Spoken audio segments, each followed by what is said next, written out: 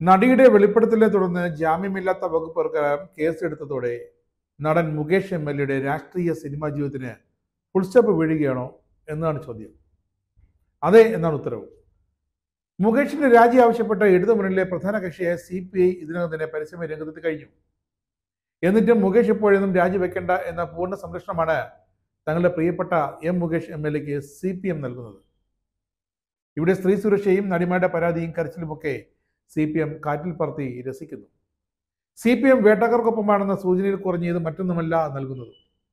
രഞ്ജിത്തിന്റെ രാജി academy chairman സ്ഥാനത്ത് നിന്നുമാണ്. അത് വളരെ പ്രസക്തമല്ല. എന്നാൽ മുകേഷ് ഇടത് എം എൽ എ ആണ് അതുകൊണ്ട് തന്നെയാണ് മുകേഷിന്റെ പാർട്ടിയുടെ ഈ സംരക്ഷണം. എന്നാൽ മുകേഷിന്റെ രാജിക്ക് മുന്നേ തന്നെ അറസ്റ്റ് ഉണ്ടാകുമെന്നാണ് അന്വേഷണ സംഘം നൽകുന്ന സൂചന. ലൈംഗിക പീഡന പരാതിയിൽ പോലീസ് ജാമ്യമില്ലാ വകുപ്പ് കേസെടുത്തു. എന്നാൽ മുകേഷ് എം എൽ എ സ്ഥാനം രാജിവെക്കേണ്ടതില്ല എന്ന നിലപാട് L D F convener E P ജയരാജന്റേതാണ്.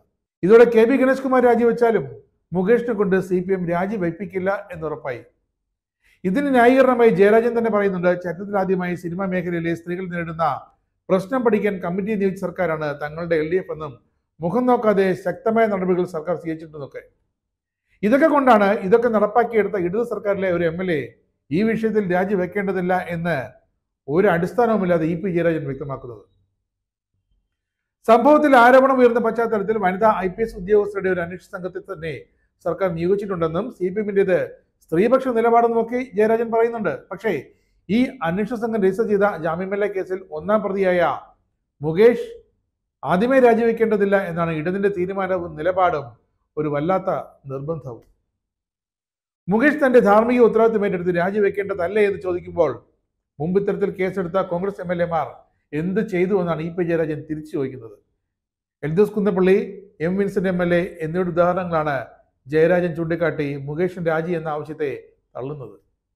Congress M L എമാർ രാജിവെക്കാത്ത പശ്ചാത്തലത്തിൽ മുകേഷിന് രാജി ഒരു തരത്തിലും ആവശ്യപ്പെടുന്ന ന്യായമല്ലെന്നും ജയരാജൻ പ്രതികരിക്കുന്നു. എന്ത് അടിസ്ഥാനമെന്നാണ് അതിന് പ്രതിപക്ഷവും ചോദിക്കുന്നത്. ഇതിനെങ്കിലും ജയരാജന് കോൺഗ്രസ് എം എൽ എമാർ ഉപകരിച്ചല്ലോ എന്നാണ് ഇടതു മുന്നണിക്കകത്ത് സംസാരം. മുകേഷിന്റെ രാജി ആവശ്യപ്പെട്ട് സി പി ഐ രംഗത്തെത്തിയല്ലോ എന്ന ചോദ്യത്തിന് സി പി ഐയുടെ കാര്യം സി പി ഐയോട് ചോദിക്കണമെന്നായിരുന്നു ജയരാജന്റെ മറ്റൊരു മറുപടി. അത് പിന്നെ എല്ലായ്പ്പോഴും അങ്ങനെയാണ്. ജനപക്ഷത്തു നിന്നും സി പി ഐ ഏറ്റെടുത്ത ഏത് നിലപാടിനെയാണ് സി പി എം പിന്താങ്ങിയിട്ടുള്ളത്? ഒന്നിനെയും പിന്താങ്ങിയിട്ടില്ല. കാന രാജേന്ദ്രന്റെ പിൻഗാമിയായി Binoy Viswam C P I സംസ്ഥാന സെക്രട്ടറി ആയപ്പോൾ മുതൽ പാർട്ടിയുടെ നിലപാടുകൾ കടുപ്പിച്ചു.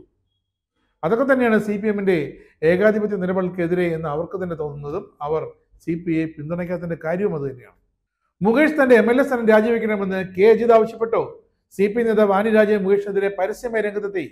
എഴുത്തുകാരി സാറ ജോസഫിന്റെ നേതൃത്വത്തിൽ നൂറ് സ്ത്രീപക്ഷ ചിന്തകർ ഉൾപ്പെട്ട് പ്രസ്താവന ഇറക്കി. ഇങ്ങനെ പ്രതിഷേധം ശക്തമായെങ്കിലും സി പി എമ്മും മുകേഷിനെതിരെ നിലപാട് ശക്തമാക്കിയില്ല.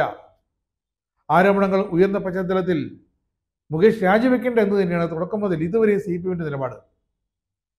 സി പി എമ്മിനുള്ളിൽ പക്ഷേ മുകേഷ് എം എൽ എ സ്ഥാനം രാജിവെച്ച് തന്റെ നിലപാട് വ്യക്തമാക്കണമെന്ന ആവശ്യം ശക്തമാണ്. പീഡനാരോപണം ഉയർന്നപ്പോൾ തന്നെ സിനിമാ നയരൂപീകരണ സമിതിയിൽ നിന്നും മാറി നിൽക്കേണ്ടി വരുന്ന പാർട്ടി മുകേഷിന് സൂചന നൽകി. പക്ഷേ പിന്നീട് പാർട്ടി തീരുമാനിച്ചു മുകേഷ് മാറി നിൽക്കേണ്ട. കേസെടുത്താൽ എം എൽ എ സ്ഥാനം രാജിവെക്കേണ്ടി വരുമെന്നും സൂചന നൽകിയിരുന്നു പാർട്ടി ആദ്യം. പക്ഷേ ഇപ്പോൾ ജാമ്യമില്ലാ വകുപ്പ് പ്രകാരമാണ് കേസെടുത്തിരിക്കുന്നത്. അറസ്റ്റ് ഉണ്ടാകും ഉറപ്പാണ്.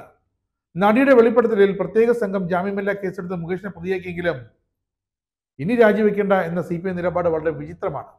ഇങ്ങനെയെങ്കിൽ നടിമാരുടെ പരാതികളിൽ സംസ്ഥാനത്തെ വിവിധ പോലീസ് സ്റ്റേഷനുകളിൽ ഇപ്പോൾ രജിസ്റ്റർ ചെയ്തിരിക്കുന്ന കേസുകളിൽ പ്രതിയായ നടൻ ജയസൂര്യ മണിയമ്പിള്ള രാജു സംവിധായകൻ വി കെ പ്രകാശ് പിന്നെ ആദ്യം കേസെടുത്ത് പ്രതിയാക്കിയ സംവിധായകൻ രഞ്ജിത്ത് ഇവർക്കൊക്കെ അറസ്റ്റിനെ ഒട്ടും ഭയക്കേണ്ടതില്ല എന്ന വ്യക്തമായ സന്ദേശമാണ് സി ഇപ്പോൾ നൽകുന്നത്.